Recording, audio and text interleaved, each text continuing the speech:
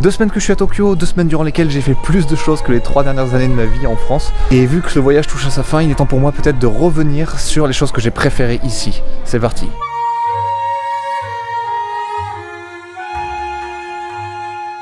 Marcher dans les rues de Tokyo.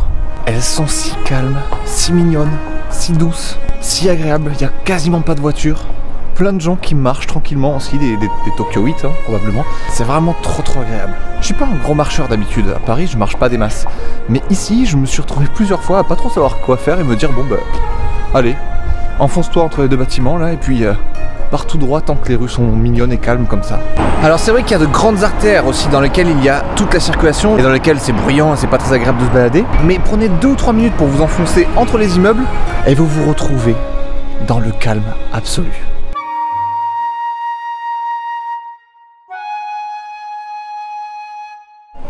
S'il y a bien un truc que j'ai aimé par-dessus tout au Japon, c'est bien entendu la nourriture. Que ce soit dans un convenience store, un grand restaurant, un petit truc de barquette à emporter comme ça, ou peu importe où, je me suis toujours régalé. C'est incroyable, c'est délicieux. En plus, moi je pensais que c'était cher, parce qu'on m'a toujours dit que le Japon c'est cher. Mais en fait, ce qui est cher ici, c'est les bâtiments, c'est les logements, etc. La nourriture, c'est pas cher du tout. Je vous laisse, je vais me chercher une petite barquette. À toutes. Ces deux trucs, j'en ai eu pour 3,50€. Je me suis pas fait un énorme festin parce qu'il est 10h30 du matin donc je vais y aller mollo. Et en tout cas c'était juste pour vous montrer que c'est pas trop cher quoi et je pense que je vais me régaler clairement.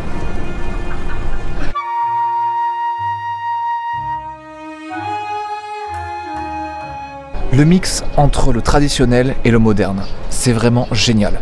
Vous vous baladez comme ça dans la rue, vous êtes au milieu des immeubles qui sont hyper stylés parce que les japonais de toute façon détruisent tout au bout de, au bout de 30 ans, ils détruisent et ils refont. Voilà, c'est leur façon de faire. Et là vous arrivez au milieu de ces deux buildings vous tournez la tête sur la droite et vous tombez sur un temple. Truc trop beau, et, puis il y a ce mélange des deux là qui est incroyablement fascinant. Là, on peut mieux se rendre compte de tout ça, c'est quand on se balade à Ginza. Ginza, c'est euh, le quartier où il y a tous les grands buildings. Et là, vous vous tournez et vous tombez sur le jardin impériaux, et euh, c'est fou. Vous faites un tour de 360 degrés sur vous-même, vous voyez la pointe de la modernité, et derrière vous, les, les bâtiments d'avant, les jardins d'avant, les. C'est trop bien. Moi, j'adore ça.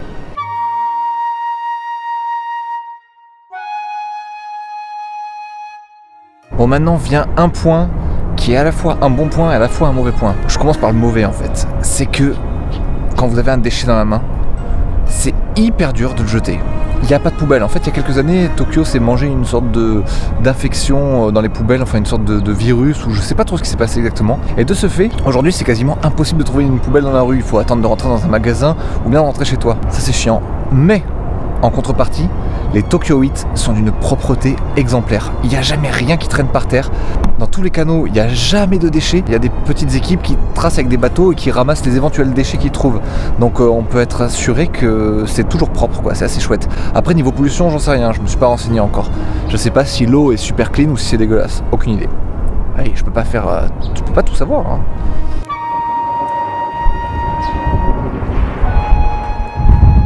La gentillesse des Japonais. Peut-être que c'est parce que je suis un gaijin et que je suis français et que les Japonais aiment les Français, mais partout où j'ai pu aller, on était toujours incroyablement bien reçus et on voyait qu'ils étaient contents de nous recevoir, qu'ils qu faisaient tout leur possible pour qu'on passe un bon moment. On nous amenait les meilleurs plats, on nous proposait les, meilleures suggestions. Toujours on nous a mis à l'aise quoi. C'était vraiment. Moi je m'attendais pas à ça. On m'a toujours dit que le, le, japonais était un peu renfermé sur lui-même, etc. C'est vraiment pas ce que j'ai super contacts, que des, des gens fun, cool et adorables.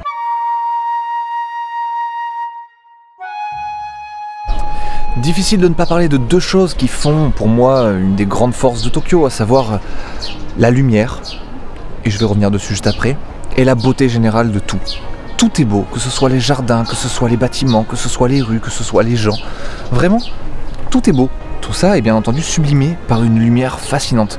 Le soleil ici, à l'époque où je suis là, moi, donc c'est à la période de, des, sakuras en fleurs, donc je pense que ça correspond au printemps. Le soleil se lève à 5h du matin. Et par contre se couche un peu plus tôt que chez nous. C'est-à-dire il se couche vers, euh, vers 16-17h, il commence à avoir un soleil bien bien bas, et à 18h euh, c'est la nuit. Mais c'est pas grave, parce que si vous arrivez à vous lever justement à ce créneau-là entre 5 et 9h, c'est magnifique. Vous avez le soleil qui, qui rase comme ça tous les bâtiments, tous les parcs, tous les, les, arbres.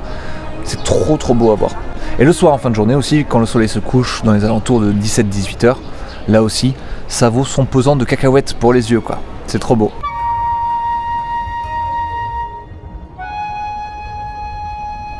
Autre truc qui est assez merveilleux et qui va un peu avec le petit point que j'ai fait sur la propreté, c'est le métro. Le métro, tu le prends tout le temps pour aller partout. C'est hyper rapide, c'est hyper propre, ça coûte pas trop trop cher. Il n'y a rien à dire de plus quoi. Les gens sont très polis, ils sont bien ordonnés, c'est pas trop galère, sauf quand c'est les heures de pointe ou alors là par contre ils n'hésitent pas à écraser les gens qui sont derrière eux au fait pour pouvoir rentrer. Ils te poussent avec leur dos comme ça jusqu'à ce que tu sois complètement compressé. Et ça c'est vrai que c'est pas un cliché quoi. Ça existe vraiment. Je l'ai vécu hier. C'est pas très très agréable mais euh, bon. Tout le reste du temps le métro est archi archi cool à prendre. Ça change tellement de Paris où je fais tout pour fuir à tout prix ce moyen de locomotion qui n'est pas du tout agréable. Vraiment pas.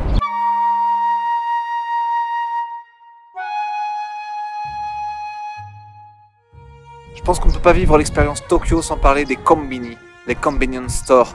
Ce sont tous ces magasins ouverts H24 dans lesquels vous pouvez euh, aller chercher de la nourriture, de l'alcool, tout ce que vous voulez à n'importe quelle heure, n'importe quel moment.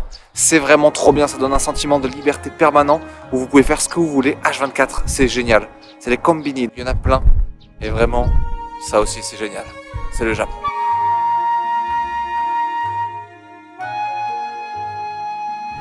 La culture manga ici, c'est pas comme en France, c'est pas un truc réservé qu'aux enfants ou alors aux personnes qui ont suffisamment de street cred pour l'assumer sans conséquence. Ici, tout le monde manga. Vous allez dans le métro, vous pouvez voir plein plein de gens qui lisent euh, des mangas. Les derniers mangas, vous les trouvez aussi dans les combini dont je vous ai parlé tout à l'heure. Dans ces endroits là vous pouvez choper de la bouffe à n'importe quelle heure, vous pouvez aussi acheter des mangas. Donc euh, big up à ça. Moi qui suis un grand grand fan de manga depuis que je suis tout petit, mais euh, j'ai jamais voulu trop en parler. Ici, je me sens comme un poisson dans l'eau.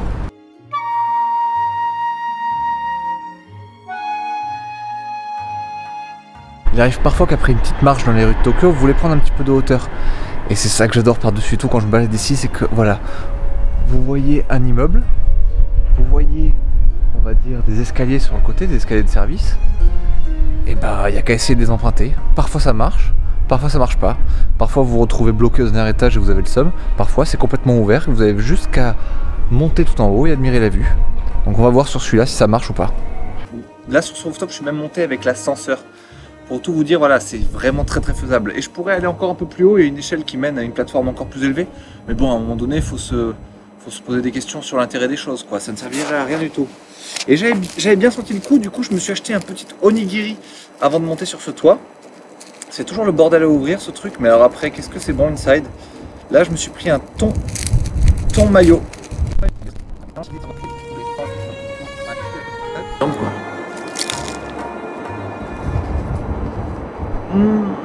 Voilà, donc moi ça fait partie de mes petits bonheurs du Japon, ça monter sur les toits avec un petit truc à manger, regarder le paysage et kiffer. Bienvenue au Japon.